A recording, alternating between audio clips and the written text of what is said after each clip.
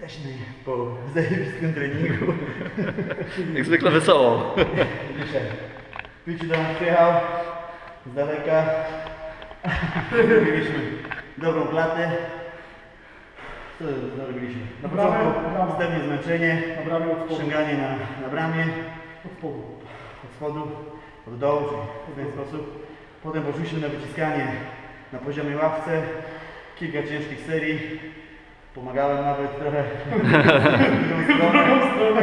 wszystko jest Żeby nagrane. się za bardzo nie, nie wybijał do przodu. Potem poszliśmy na hamera stocznego, czyli górna część klaty. Dobrze wchodziła. Potem hammer dolny, dół klaty. Ja na końcu jeszcze zrobiłem przenoszenie za głowę, a chłopaki poszli na, na bicepsy. Mam dobre bicepsy.